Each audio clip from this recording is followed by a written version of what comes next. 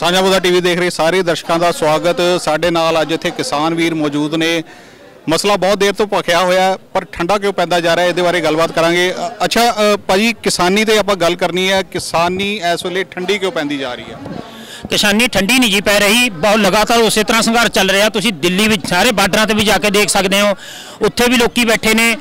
ਥੋੜਾ ਜੇ ਕੰਮਕਾਰ ਹੈ, ਉਧਰ ਵੀ ਆਪਣਾ ਨਿਬੇੜ ਕੇ ਨਾਲ ਦੀ ਨਾਲ ਜਿਹੜੇ ਸਾਡੇ ਟੋਲਾਂ ਤੇ ਦੇਖੋ ਡਬਲ ਸੰਘਰਸ਼ ਚੱਲ ਰਹੇ ਨੇ। ਟੋਲ ਤੇ ਵੀ ਜਾਂਦੇ ਨੇ, ਦਿੱਲੀ ਵੀ ਜਾਂਦੇ ਨੇ। ਇਹ ਤਾਂ ਜੋ ਪਹਿਲੇ ਦਿਨ ਐਲਾਨ ਕੀਤਾ ਸੀ ਕਿ ਜਦੋਂ ਤੱਕ ਬਿੱਲ ਰੱਦ ਨਹੀਂ ਹੁੰਦੇ, ਸਮਾਂ ਜਿੰਨਾ ਮਰਜ਼ੀ ਲੱਗ ਜਾਵੇ, ਉਦੋਂ ਤੱਕ ਡਟੇ ਰਹਾਂਗੇ ਔਰ ਤੁਸੀਂ ਦੇਖ ਹੀ ਰਹੇ ਆ, ਹਰ ਇੱਕ ਦਿਨ 'ਚ ਸੰਘਰਸ਼ ਤਾਂ ਦਿਨੋਂ ਦਿਨ ਵੱਧਦਾ ਜਾ ਰਿਹਾ ਹੈ ਉਤਸ਼ਾਹ, ਕਿਉਂਕਿ ਜਿਉਂ-ਜਿਉਂ ਉਹ ਸਤਾ ਰਹੇ ਨੇ ਕਿ ਮੰਨੂ ਸਾਡੀ ਦਾਤਰੀ ਅਸੀਂ ਮੰਨੂ ਦੇ ਸੋਏ ਜਿਉਂ-ਜਿਉਂ ਮੰਨੂ ਵੱਢਦਾ ਸੀ, ਦੂਣ ਸਵਾਣੇ ਹੋਏ ਉਹਨਾਂ ਰੋਸ ਜਾਗ ਰਿਹਾ ਹੈ ਕਿਸਾਨਾਂ ਦੇ ਅੰਦਰ ਤੇ ਇਹ ਤਾਂ ਇੱਕ ਨਵੀਂ ਇੱਕ ਗੱਲ ਹੈ ਕਿ ਪਹਿਲਾਂ ਤਾਂ ਕਿਸਾਨ ਹੀ ਸੀ, ਅੱਜ ਤਾਂ ਹਰ ਵਰਗ ਜੁੜ ਕੇ ਇੱਕ ਸਾਂਝਾ ਸੰਘਰਸ਼ ਬਣ ਕੇ ਬਹੁਤ ਵੱਡਾ ਮਦਾਜ ਬਣ ਚੁੱਕਾ ਹੈ ਜੀ। ਜੇ ਦੇਖਿਆ ਜਾਵੇ, ਆਪਾਂ ਸੋਸ਼ਲ ਮੀਡੀਆ ਦੀ ਗੱਲ ਕਰੀਏ ਤਾਂ ਇਸ ਵੇਲੇ ਸੋਸ਼ਲ ਮੀਡੀਆ ਤੇ ਹਰਿਆਣਾ ਪੂਰਾ ਐਕਟਿਵ ਹੈ ਯੂਪੀ ਪੂਰਾ ਐਕਟਿਵ ਹੈ, ਟਕੈਤ ਸਾਹਿਬ ਪੂਰੇ ਜ਼ੋਰ ਤੇ ਚੱਲ ਰਹੇ ਨੇ, ਚੜੁੰਦੀ ਜੀ ਪੂਰੇ ਜ਼ੋਰ ਤੇ ਚੱਲ ਰਹੇ ਨੇ, ਸਾਡੀਆਂ ਜਥੇ ਜਥੇਬੰਦੀਆਂ ਕਿੱਥੇ ਨੇ? ਦੇਖੋ ਜੀ, ਜਥੇਬੰਦੀਆਂ ਬਾਰਡਰ ਉੱਥੇ ਬੈਠੀਆਂ ਨੇ, ਜੋ ਉਹਨਾਂ ਦਾ ਹੁਕਮ ਹੁੰਦਾ ਹੈ ਪੰਜਾਬ ਦੇ ਵਿੱਚ ਹਰ ਪ੍ਰੋਗਰਾਮ ਤੁਹਾਡੇ ਸਾਹਮਣੇ ਉਸੇ ਤਰ੍ਹਾਂ ਸਫਲ ਹੁੰਦਾ ਹੈ। ਜੋ ਵੀ ਉੱਥੋਂ ਆਉਂਦਾ ਹੈ, ਦੇਖੋ, ਇੱਥੇ ਸਾਡੇ ਟੋਲਾਂ ਤੇ ਵੀ ਪੰਜਾਬ ਤੇ ਥਾਂ ਥਾਂ ਜਿੱਥੇ ਟੋਲਾਂ ਦੇ ਸੰਘਰਸ਼ ਨਹੀਂ, ਲੋਕਾਂ ਨੇ ਆ ਹੁਣ ਪਿੱਛੇ ਪਿਤਲੇ ਫੂਕਣ ਦੀ ਗੱਲ ਦੀ ਪਿੰਡ ਪਿੰਡ ਫੂ- ਪਿਤਲੇ ਫੂਕੇ ਆ ਮੋਦੀ ਦੇ। ਜੋ ਉਹਨਾਂ ਦਾ ਹੁਕਮ ਹੁੰਦਾ ਹੈ ਤੇ ਲੋਕੀ ਜੁੜੇ ਹੋਏ ਨੇ ਉਸ ਨੂੰ ਹਰ ਅਮਲ ਦੇ ਵਿੱਚ ਲਿਆਉਂਦੇ ਨੇ। ਜਦੋਂ ਲੋੜ ਹੁੰਦੀ ਹੈ, ਪਿੰਡਾਂ ਦੇ ਵਿੱਚ ਬਾਰੀ ਸਿਰ, ਕਿਉਂਕਿ ਪਹਿਲਾਂ ਤਾਂ ਇੱਕ ਵਾਰੀ ਇਕੱਠੇ ਗਏ ਸੀ, ਹੁਣ ਕੰਟੀਨਿਊ ਲੱਗੇ ਹੋਏ ਨੇ ਕਿ ਉਹਨੇ ਬੰਦੇ ਉੱਥੇ ਚਲੇ ਜਾਂਦੇ ਨੇ, ਪ- ਹਰ ਪਿੰਡ ਤੋਂ। ਤੇ ਜਦੋਂ ਉਹ ਉਹਨਾਂ ਦੀ ਡਿਊਟੀ ਪੂਰੀ ਹੋ ਜਾਂਦੀ ਹੈ, ਅਗਲੇ ਚਲੇ ਜਾਂਦੇ ਨੇ। ਇਸ ਤਰ੍ਹਾਂ ਹੁਣ ਉਹ ਲਗਾਤਾਰ ਸਿਲਸਿਲਾ ਚੱਲ ਰਿਹਾ ਜੀ। ਐਮਐਸਪੀ ਦੀ ਆਪਾਂ ਗੱਲ ਕਰੀਏ ਬਿਲਾਂ ਦੇ ਨਾਂ ਹੇਠ ਐਮਐਸਪੀ ਦੀ ਗੱਲ ਕਿਤੇ ਨਹੀਂ ਹੋ ਰਹੀ। ਪਰ ਜੇਕਰ ਆਪਾਂ ਗੱਲ ਕਰੀਏ ਮਹਿੰਗਾਈ ਦੀ ਮਹਿੰਗਾਈ ਦਰ ਲਗਾਤਾਰ ਵੱਧਦੀ ਜਾ ਰਹੀ ਹੈ। ਪੈਟਰੋਲ ਡੀਜ਼ਲ ਜੇ ਆਪਣੇ ਖਾਦ ਪਦਾਰਥ ਆਪਾਂ ਉਹਨਾਂ ਦੀ ਗੱਲ ਕਰੀਏ ਉਹ ਵੀ ਦਿਨੋ ਦਿਨ ਮਹਿੰਗੇ ਹੁੰਦੇ ਜਾ ਰਹੇ ਨੇ। ਕਿਸਾਨੀ ਫੇਰ ਵੀ ਉੱਥੇ ਦੀ ਉੱਥੇ ਹੀ ਹੈ ਇਦਾਂ ਕਿਉਂ? ਇਹੀ ਲੜਾਈ ਹੈ ਜੀ ਸ਼ੁਰੂ ਤੋਂ। ਕਿਉਂਕਿ ਕਿਸਾਨੀ ਨੂੰ ਹਮੇਸ਼ਾ ਹੀ ਸਰਕਾਰਾਂ ਦਬਾਉਣੀਆਂ ਚਾਹੁੰਦੀਆਂ ਨੇ ਕਿਉਂਕਿ ਸਾਰੇ ਕਿੱਤੇ ਕਿਸਾਨੀ ਤੇ ਆਧਾਰਿਤ ਨੇ। ਕਿਸਾਨੀ ਦੀ ਕੀ ਲੜਾਈ ਰਹੀ ਹੈ ਕਿ ਸਾਨੂੰ ਸਾਨੂੰ ਵਾਜਬ ਮੁੱਲ ਤਾਂ ਮਿਲੇ ਨਾ ਸਾਡੀਆਂ ਫਸਲਾਂ ਦਾ। ਦੇਖੋ ਦਿਨ ਰਾਤ ਕਰਕੇ ਮਿਹਨਤ ਕਰਕੇ ਕਿਸਾਨ ਆਪਣੀ ਫਸਲ ਲਗਾਉਂਦਾ ਤੇ ਰੇਟ ਉਹਨਾਂ ਨੇ ਤੈਅ ਕਰਨੇ ਨੇ ਪਰ ਦੂਜੇ ਪਾਸੇ ਜੋ ਦਵਾਈਆਂ ਖਾਦ ਦੇ ਰੇਟ ਹੁੰਦੇ ਨੇ ਉਹਨਾਂ ਨੂੰ ਤਾਂ ਨਾਲ ਨਹੀਂ ਜੋੜਿਆ ਜਾਂਦਾ। ਆਪਣਾ ਉਹੀ 50 ਰੁਪਏ ਮਹੀਨੇ ਖਾਦ ਦੀ ਗੱਲ ਹੈ ਖਾਦ ਵੀ ਮਹਿੰਗੀ ਹੋ ਗਈ ਹੈ। ਖਾਦ ਮਹਿੰਗੀ ਵੀ ਹੋ ਗਈ ਹੈ ਜੇ ਇੱਥੋਂ ਤੱਕ ਮਿਲ ਵੀ ਨਹੀਂ ਰਹੀ। ਇਹ ਮੁੱਦਾ ਵੀ ਉਠਾਇਆ ਸੀ ਪਿਛਲੇ ਦਿਨ ਇਹ ਕਿ ਯੂਰੀਆ ਤੇ ਡੀਏਪੀ ਜੋ ਸਾਡੀਆਂ ਸਹਿਕਾਰੀ ਸਭਾਵਾਂ ਨੇ ਖਾਸ ਕਰ ਮੋਹਾਲੀ ਜ਼ਿਲ੍ਹੇ ਦੇ ਅੰਦਰ। ਸਾਨੂੰ ਉਹ ਪ੍ਰਾਪਤ ਵੀ ਨਹੀਂ ਹੋ ਰਹੀ ਕਿ ਇਹ ਤਾਂ ਪਰੇਸ਼ਾਨ ਕਰਨ ਵਾਲੀ ਗੱਲ ਹੈ, ਕਿਸਾਨੀ ਨੂੰ ਤੋੜਨ ਵਾਲੀ। ਪਰ ਮੋਦੀ ਨੂੰ ਇਹ ਸਮਝਣਾ ਚਾਹੀਦਾ, ਅਗਰ ਕਿਸਾਨੀ ਬਰਬਾਦ ਹੁੰਦੀ ਹੈ ਤਾਂ ਪੂਰਾ ਸੰਸਾਰ ਦੇ ਕਿੱਤੇ ਪ੍ਰਭਾਵਿਤ ਹੋਣਗੇ, ਦੇਸ਼ ਤਾਂ ਬਰਬਾਦ ਹੋਵੇਗਾ ਹੀ ਹੋਵੇਗਾ। ਵਰਲਡ ਵਾਈਡ ਜਿਹੜੀ ਹੈਗੀ ਹੈ, ਕਿਰਕਰੀ ਹੋ ਚੁੱਕੀ ਹੈ ਨਖੇਦੀ ਹੋ ਰਹੀ ਹੈ। ਕਿਸਾਨੀ ਅੰਦੋਲਨ ਪੂਰੇ ਜ਼ੋਰਾਂ ਤੇ ਚੱਲ ਰਿਹਾ। ਮੋਦੀ ਸਰਕਾਰ ਕਿਉਂ ਨਹੀਂ ਮੰਨਦੀ ਪਈ ਦੇਖੋ ਜੀ, ਮੋਦੀ ਸਰਕਾਰ ਪਤਾ ਨਹੀਂ ਕੀ ਸੁੱਤੀ ਪਈ ਹੈ, ਜਾਗਦੀ ਨਹੀਂ। ਲੋਕਾਂ ਦੀ ਲੋਕਾਂ ਦੀ ਸਰਕਾਰ ਬਣਾਈ ਹੋਈ ਹੈ, ਲੋਕਾਂ ਵਾਸਤੇ ਉਹਨੂੰ ਕੰਮ ਕਰਨੇ ਚਾਹੀਦੇ। ਪਰ ਫਿਰ ਵੀ ਉਹਦੇ ਦਿਮਾਗ 'ਚ ਪਤਾ ਨਹੀਂ ਕੀ ਆ, ਜੇ ਕਿਸਾਨੀ ਬਿੱਲ ਉਹ ਰੱਦ ਨਹੀਂ ਕਰਦਾ ਤਾਂ ਬਹੁਤ ਬੁਰੀ ਮਤਲਬ ਸੰਸਾਰ ਵਿੱਚ ਵਰਲਡ ਵਾਰ ਹੋ ਹੋ ਸਕਦੀ ਹੈ। ਇਸ ਕਰਕੇ ਮੁੱਦੇ ਜਿਹੜੇ ਮੇਨ ਆ ਵੀ ਐਮਐਸਪੀ ਆ, ਸਵਾਮੀਨਾਥਨ ਦੀ ਰਿਪੋਰਟ ਸੀ, ਚੱਲਦੀ ਪਹਿਲਾਂ, ਹੁਣ ਤਾਂ ਐਮਐਸਪੀ ਤੇ ਹੀ ਖੜ ਗਈ ਗੱਲ। ਪਹਿਲਾਂ ਸਵਾਮੀਨਾਥਨ ਰਿਪੋਰਟ ਤੇ ਚੱਲ ਲੜਦੇ ਰਹੇ ਆਪਾਂ। ਉਹ ਲਾਗੂ ਕਰਾਉਣ ਦੇ ਹੁਣ ਤਾਂ ਐਮਐਸਪੀ ਵੀ ਨਹੀਂ ਲਾਗੂ ਕਰ ਰਿਹਾ। ਲੋਕ ਇਕਜੁੱਟ ਹੋ ਕੇ ਲੜਾਈ ਲੜ ਰਹੇ, ਘੱਟੋ ਘੱਟ 6 ਮਹੀਨੇ ਤੋਂ ਲੜ ਰਹੇ। ਹੋਰ ਲ- ਲੜਨੀ ਚਾਹੀਦੀ ਹੈ ਹਰ ਵਰਗ ਨੂੰ ਨਾਲ ਆ ਕੇ ਲੜਨੀ ਚਾਹੀਦੀ ਹੈ ਕਿਉਂਕਿ ਇਹ ਕੱਲਿਆ ਕਿਸਾਨੀ ਦਾ ਮੁੱਦਾ ਨਹੀਂ ਹੈ। ਸਾਰੇ ਵਰਗਾਂ ਦਾ, ਸਾਰੇ ਸੰਸਾਰ ਦਾ ਮੁੱਦਾ ਹੈ। ਇਸ ਕਰਕੇ ਇਹਨੂੰ ਕਾਨੂੰਨਾਂ ਨੂੰ ਰੱਦ ਕਰਕੇ ਹੀ ਮੁੱਦਾ ਮੁੱਦਾ ਆਪਣੀ ਜਗ੍ਹਾ ਠੀਕ ਹੈਗਾ ਜੇਕਰ ਦੇਖਿਆ ਜਾਵੇ ਤਾਂ ਪੰਜਾਬ ਦੇ ਵਿੱਚ ਇਸ ਵੇਲੇ ਧੜੇਬੰਦੀ ਜਿਹੜੀ ਹੈਗੀ ਨਜ਼ਰ ਆ ਰਹੀ ਹੈ। ਬਜ਼ੁਰਗ ਵੱਖਰੇ ਚੱਲਦੇ ਨਜ਼ਰ ਆ ਰਹੇ ਨੇ ਯੂਥ ਜਿਹੜਾ ਹੈਗਾ ਵੱਖਰਾ ਚੱਲਦਾ ਨਜ਼ਰ ਆ ਰਿਹਾ ਕਿਉਂਕਿ ਯੂਥ ਦੇ ਵਿੱਚ ਅਕਰੋਸ਼ ਬਹੁਤ ਹੈ। ਜੇਕਰ ਯੂਥ ਨੇ ਅ, ਪੱਟੀਆਂ ਸੀਗੀਆਂ ਬਾਰਡਰ ਤੋੜੇ ਸੀਗੇ ਤਾਂ ਸਾਰੀ ਕਿਸਾਨੀ ਜਿਹੜੀ ਹੈ ਅੱਗੇ ਵਧੀ ਸੀਗੀ। ਪਰ ਇਸ ਵੇਲੇ ਯੂਥ ਨੂੰ ਪਿੱਛੇ ਧੱਕਣ ਦੀ ਕੋਸ਼ਿਸ਼ ਕੀਤੀ ਜਾ ਰਹੀ ਹੈ। ਇਹ ਕਿਉਂ ਹੋ ਰਿਹਾ? ਦੇਖੋ ਜੀ, ਇਹ ਗੱਲ ਮੇਨ ਇਹ ਸਿਆਸੀ, ਸਿਆਸਤ ਦੀ ਹੈ, ਜਿਹੜਾ ਖੂਨ 'ਚ ਸਾਡੇ ਨਾਲ ਸਿਆਸੀ ਰੰਗ ਰਚ ਚੁੱਕਿਆ ਹੈ। ਇਹ ਅਸੀਂ ਮੰਨਣ ਨੂੰ ਤਿਆਰ ਨਹੀਂ ਹੈ, ਪਰ ਖੂਨ ਵਿੱਚ ਸਾਡੇ ਸਿਆਸਤ ਰਚੀ ਹੋਈ ਹੈ, ਘਰ ਘਰ ਰਚੀ ਹੋਈ ਹੈ, ਪਿੰਡ ਪਿੰਡ ਰਚੀ ਹੋਈ ਹੈ। ਅਸੀਂ ਸਿਆਸੀ ਬੰਦਿਆਂ ਦੇ ਪਿੱਛੇ ਲੱਗ ਕੇ ਆਪਣੀ ਬਰਬਾਦੀ ਕਰ ਰਹੇ ਹਾਂ। ਇਸ ਕਰਕੇ ਸਾਨੂੰ ਇਹਨਾਂ ਲੋਕਾਂ ਨੂੰ ਇੱਕ ਜ- ਦੱਸਣਾ ਚਾਹੀਦਾ ਵੀ ਅਸੀਂ ਤੁਹਾਡੇ ਨਾਲ ਨਹੀਂ, ਅਸੀਂ ਤਾਂ ਲੋਕਾਂ ਦੇ ਨਾਲ ਆ, ਜਿਹੜੇ ਸਿਆਸੀ ਬੰਦੇ ਉਹਨਾਂ ਨੂੰ ਇਹਨਾਂ ਤੱਕ ਮੈਸੇਜ ਜਾਣਾ ਚਾਹੀਦਾ, ਜਿਹੜੇ ਪਾਰਟੀਬਾਜ਼ੀ ਵਾਲੀਆਂ ਗੱਲਾਂ ਨੇ, ਜਿਹੜੇ ਉਹਨਾਂ ਦੇ ਲੀਡਰ ਆ ਜਾਂ ਮੁਰਲੇ ਬੰਦੇ ਆ ਪਿੰਡਾਂ 'ਚ, ਉਹ ਉਹਨਾਂ ਨੂੰ ਰਿਪੋਰਟ ਪਹੁੰਚਾਉਂਦੇ ਵੀ ਸਾਡੇ ਨਾਲ ਉਨੇ ਹੀ ਬੰਦੇ ਆ। ਇਸੇ ਕਰਕੇ ਇਹ ਜਿਹੜਾ ਮੁੱਦਾ ਇਹ ਉਸ ਇੱਥੇ ਸਟੈਂਡ ਕੀਤਾ ਹੋਇਆ ਹੈ। ਜਦ ਤੱਕ ਉਹ ਆਪਣੇ ਲੀਡਰਾਂ ਨੂੰ ਕਹਿੰਦੇ ਨੇ ਵੀ ਲੋਕ ਸਾਰੇ ਜਾਗਰੂਕ ਹੋ ਗਏ, ਸਾਡੇ ਨਾਲ ਕਿਸੇ ਨੇ ਨਹੀਂ ਤੁਰਨਾ, ਜਦੋਂ ਲੀਡਰਾਂ ਦੀਆਂ ਕੁਰਸੀਆਂ ਨੂੰ ਹੱਥ ਪਾਊਗਾ ਨਾ, ਉਹ ਐਟੋਮੈਟਿਕ ਇਹ ਕਾਨੂੰਨ ਰੱਦ ਹੋਣਗੇ। ਹਾਲ ਜਿਹੜੇ ਮੂਰੇ ਪਾਛੂ ਆ ਨਾ, ਉਹ ਆਪਣੀਆਂ ਰਿਪੋਰਟਾਂ ਹੀ ਗਲਤ ਲਈ ਜਾਂਦੇ। ਪਿੰਡਾਂ ਦੇ ਵੀ ਹੈਗੇ, ਸਾਰੇ ਪਾਸੇ ਹੈਗੇ ਮੇਨ ਇਹ ਕਾਰਨ ਆ, ਮੇਰੇ ਮੈਨੂੰ ਮੈਨੂੰ ਲੱਗਦਾ ਸ਼ਾਇਦ ਮੈਂ ਗਲਤ ਵੀ ਹੋ ਸਕਦਾ। ਇਹ ਬਹੁਤ ਵੱਡਾ ਕਾਰਨ ਆ ਜਿਹੜੇ ਆਪਣੇ ਲੀਡਰਾਂ ਦੇ ਅੱਗੇ ਲੱਗੇ ਹੋਏ ਨਾ ਉਹ ਰਿਪੋਰਟ ਗਲਤ ਦੇ ਰਹੇ। ਜਦੋਂ ਸੰਘਰਸ਼ ਸ਼ੁਰੂ ਹੋਇਆ ਉਦੋਂ ਮਾਹੌਲ ਬਹੁਤ ਤੱਤਾ ਸੀ।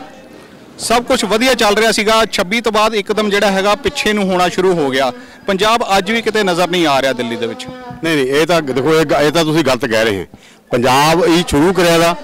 ਪੰਜਾਬ ਅੱਜ ਵੀ ਉਵੇਂ ਸਾਂਭੀ ਬੈਠਾ ਹੈ ਤੇ ਅੱਗੇ ਨੂੰ ਵੀ ਪੰਜਾਬ ਉਹਨਾਂ ਦੀ ਲੀਡ ਕਰ ਰਿਹਾ। ਜਿਹੜੀਆਂ ਬੱਤੇ ਜਥੇਬੰਦੀਆਂ ਸਾਰੇ ਹਿੰਦੁਸਤਾਨ ਚੋਂ ਇਕੱਠੀਆਂ ਹੋ ਕੇ ਆਈਆਂ ਤੇ ਅੱਜ ਵੀ ਉਹਨਾਂ ਨੂੰ ਲੀਡ ਪੰਜਾਬ ਕਰ ਰਿਹਾ। ਪਰ ਨਹੀਂ- ਅੱਜ ਪਿੰਡਾਂ ਦੇ ਵਿੱਚ ਜਾ ਕੇ ਬਾਰ-ਬਾਰ ਹਰੇਕ ਨੂੰ ਸੱਦਾ ਕਿਉਂ ਦੇਣਾ ਪੈ ਰਿਹਾ ਜਦ ਕਿ ਲੜਾਈ ਸਭ ਦੀ ਸਾਂਝੀ ਹੈ। ਇਹ ਦੇਖੋ ਸੱਦਾ ਤਾਂ ਲਗਾਤਾਰ ਚੱਲਦਾ ਰਹਿਣਾ ਹੈ। ਜੇ ਆਪਾਂ ਹੁਣ ਸ- ਸ- ਆਪਾਂ ਚੁੱਪ ਕਰਕੇ ਬਹਿ ਜਾਂਦੇ ਆ ਜੇ ਆਪਾਂ ਹੱਥ ਨਾਲ ਮੁਰਕੀ ਤੋੜੂਗੇ ਤਾਂ ਹੀ ਮੂੰਹ ਤੱਕ ਜਾਊਗੀ ਨਾ। ਸੱਦਾ ਤਾਂ ਕੰਮਾਂ ਕਾਰਾਂ ਦੇ ਜਿਹੜੇ ਬੰਦੇ ਬੈਠੇ ਆ, ਮੰਨ ਲਓ ਮੈਂ ਕੰਮ ਕਰਦਾ, ਮੇਰਾ ਦੋ ਦਿਨ ਦਾ ਕੰਮ ਹੈ, ਜੇ ਸੱਦਾ ਆਊਗਾ ਮੈਨੂੰ ਇਹ ਲੱਗਣਾ ਵੀ ਮੈਂ ਹੌਲੀ ਹੌਲੀ ਕਰਨਾ, ਫਿਰ ਬੰਦੇ ਨੂੰ ਇਹ ਹੁੰਦਾ ਵੀ ਮੈਂ ਜਾਣਾ ਹੈ, ਉਹ ਥੋੜ੍ਹਾ ਜਿਹਾ ਛੇਤੀ ਨਿਬੇੜ ਲੈਂਦਾ। ਇਹਦੇ 'ਚ ਇਹ ਸੱਦੇ ਵਾਲੀ ਗੱਲ ਨਹੀਂ, ਇਹ ਤਾਂ ਸਿਰਫ ਜਾਗਰੂਕਤਾ ਵੀ ਆਪਾਂ ਕੱਲ ਜਾਣਾ ਜਾਂ ਪਰਸੋਂ ਜਾਣਾ, ਇਹ ਸਿਸਟਮ ਨਾਲੇ ਕੰਮ ਚੱਲਦਾ। ਦੇਖੋ ਜਿਹੜੀ ਤੁਸੀਂ ਕਹਿੰਦੇ ਪਹਿਲਾਂ ਵਾਲੀ ਗੱਲ, ਉਹ ਇਹ ਸੀ, ਉਦੋਂ ਸਾਰਿਆਂ ਨੇ ਇੱਕ ਹੱਲਾ ਬੋਲ ਵਾਲਾ ਸਿਸਟਮ ਸੀ। ਹੁਣ ਜਿਹੜਾ ਸਿਸਟਮ ਹੈ ਲੰਬਾ ਪੈ ਗਿਆ। ਠੀਕ ਹੈ, ਇਹ 24 ਤੱਕ ਵੀ ਜਾ ਸਕਦਾ। ਲੇਕਿਨ ਚੱਲਣ ਦਾ ਸਿਸਟਮ ਬਣਾ ਲੈਣਾ ਹੁਣ ਜੇ ਸਾਰਾ ਪੰਜਾਬ ਉੱਥੇ ਜਾ ਕੇ ਬਹਿ ਜੂ, ਕੰਮ ਕੌਣ ਕਰੂ?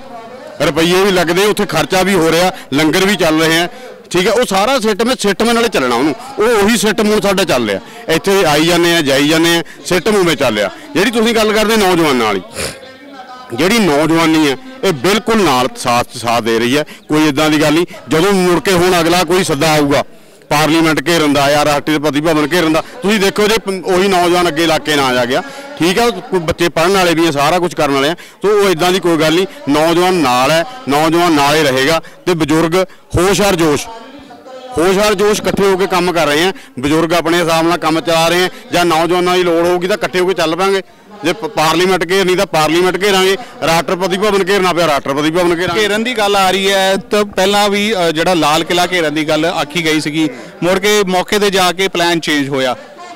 ਇਸੇ ਕਰਕੇ ਯੂਥ ਜਿਹੜਾ ਥੋੜਾ ਪਿੱਛੇ ਨੂੰ ਹੋਇਆ। ਨਹੀਂ ਨਹੀਂ ਉਹਦਾ ਕਾਰਨ ਹੋਇਆ ਨਾ ਉੱਥੇ ਜਿਹੜੀਆਂ ਏਜੰਸੀਆਂ ਨੇ ਸਿਸਟਮ ਖਰਾਬ ਕਰਿਆ ਨੌ ਕਿਸਾਨਾਂ ਦਾ ਲਾਇਆ ਵੀ ਲਾਲ ਕਿਲਾ ਘੇਰ ਲਿਆ। ਜਦੋਂ ਪੁਲਿਸ ਨੇ ਇੱਕ ਆਹ ਲੰਘ ਹੈ ਠੀਕ ਹੈ ਜੇ ਆਪਾਂ ਉਰੇ ਖੜੇ ਆ ਜੇ ਆਪਣੇ ਕੋਲ ਬੰਦਾ ਸਾਈਡ ਨੂੰ ਹੋ ਕੇ ਲੰਘੂਗਾ ਨਾ ਜਦੋਂ ਆਪਾਂ ਉਹਨੂੰ ਖ- ਲਾਂਘਾ ਦੇਤਾ ਫਿਰ ਲੰਘਣਾ ਹੀ ਹੈ। ਜਦੋਂ ਪੁਲਿਸ ਨੇ ਲਾਂਘਾ ਦੇਤਾ ਫਿਰ ਦੇਖੋ ਲਾਲ ਕਿਲੇ ਪਰ ਤਾਂ ਜਾਣਾ ਹੀ ਹੈ। ਲਾਲ ਕਿਲਾ ਤਾਂ ਸਾਡਾ ਹੈ। ਅਸੀਂ ਜਿੱਤਿਆ ਮੁਗਲਾਂ ਤੋਂ। ਇਹਨਾਂ ਨੇ ਤਾਂ ਜਿੱਤਿਆ ਨਹੀਂ। ਉਹ ਉਹ ਜਿਹੜਾ ਕੇਸਰੀ ਨਿਸ਼ਾਨ ਹੈ, ਕੇਸਰੀ ਨਿਸ਼ਾਨ ਨਾਲ ਇੱਕ ਲਾਲ ਕਿਲਾ ਜਿੱਤਿਆ ਤਾਂ ਹੁਣ ਵੀ ਉਸੇ ਨਾਲ ਜਿੱਤ ਹੋਣਾ ਕਿਸਾਨੀ ਜਿਹੜਾ ਝੰਡਾ ਹੈ, ਇਹ ਕਿਸਾਨਾਂ ਦਾ ਇੱਕ ਸਿੰਬਲ ਹੈ। ਠੀਕ ਹੈ? ਜਿਹੜੀ ਲੜਾਈ ਲੜੀ ਜਾਂਦੀ, ਕਿਸੇ ਏਮ ਨੂੰ ਲੈ ਕੇ ਲੜੀ ਜਾਂਦੀ ਹੈ। ਹੁਣ ਤਿੰਨ ਬਿੱਲਾਂ ਦੀ ਲੜਾਈ ਹੈ। ਉਹ ਤਿੰਨ ਬਿੱਲਾਂ ਦੀ ਉਹ ਲੜਾਈ ਲੜ ਰਹੇ ਹੈ। ਉਹ ਉਹ ਚੀਜ਼ ਨੂੰ ਖਰਾਬ ਕਰਿਆ ਇਹਨਾਂ ਨੇ। ਹੁਣ ਵੀ ਜਿਹੜੀ ਪਾਰਲੀਮੈਂਟ ਘੇਰਨ ਵਾਲੀ ਗਲਤੀ ਉਹ ਪਿੱਛੇ ਕਿਉਂ ਕਰਨੀ ਪਈ? ਉਹ ਏਜੰਸੀਆਂ ਨੇ ਉੱਥੇ ਫੇਰ ਉਹ ਉਹੀ ਸਿਸਟਮ ਚ ਕਰਿਆ। ਉਹ ਏਜੰਸੀਆਂ ਨੂੰ ਫੇਲ ਕਰਨ ਵਾਸਤੇ ਇਹ ਪ੍ਰੋਗਰਾਮ ਅੱਗੇ ਪਾਇਆ ਲੇਕਿਨ ਹੋਊਗਾ ਜ਼ਰੂਰ। ਜਿਹੜੀ ਇਹ ਗੱਲ ਆ ਰਹੀ ਹੈ ਆਪਣਾ ਪਾਰਲੀਮੈਂਟ ਘੇਰਨ ਦੀ ਕੀ ਇਹ ਮੰਨਿਆ ਜਾ ਸਕਦਾ ਵੀ ਆਪਣੀ ਕਿਸਾਨੀ ਦੇ ਜਿਹੜੇ ਉੱਥੇ ਸੰਘਰਸ਼ ਚੱਲਦਾ ਪਿਆ ਉਹਦੇ ਵਿੱਚ ਵੀ ਕਿਤੇ ਕੋਈ ਟਾਊਟ ਹੈਗਾ ਜਿਹੜਾ ਸਰਕਾਰਾਂ ਤੱਕ ਇਹ ਖਬਰ ਪਹੁੰਚਾ ਰਿਹਾ? ਦੇਖੋ ਸਰਕਾਰਾਂ ਤਾਂ ਟੌਟ ਪੈਦਾ ਕਰੇ ਦੇ ਕਰਦੀਆਂ। ਇਹਦੇ 'ਚ ਕੋਈ ਦੋ ਰਾਮਾ ਨਹੀਂ ਹੈ। ਮੈਂ ਵੀ ਹੋ ਸਕਦਾ, ਤੁਸੀਂ ਵੀ ਹੋ ਸਕਦੇ। ਆ ਇਹ ਸਰਕਾਰਾਂ ਸਰਕਾਰਾਂ ਇਹ ਕੰਮ ਕਰਦੀਆਂ। ਇਹ ਸਰਕਾਰਾਂ ਨੇ ਕਰਨਾ ਵੀ ਹੁੰਦਾ। ਇਹ ਮੌਕੇ ਦੀ ਮੌਕੇ ਇਹ ਕੰਮ ਕਰਦੀਆਂ ਹੁੰਦੀਆਂ, ਕੋਈ ਇਦਾਂ ਦੀ ਗੱਲ ਨਹੀਂ। ਲੇਕਿਨ ਸਾ- ਸਾਡਾ ਕੰਮ ਹੈ, ਅਸੀਂ ਉਸ ਚੀਜ਼ ਨੂੰ ਸਟੈਪ ਐਨ ਪੂਰਾ ਸੰਭਲ ਸੰਭਲ ਕੇ ਰੱਖਣਾ। ਉਹ ਅਸੀਂ ਰੱਖ ਰਹੇ ਹਾਂ।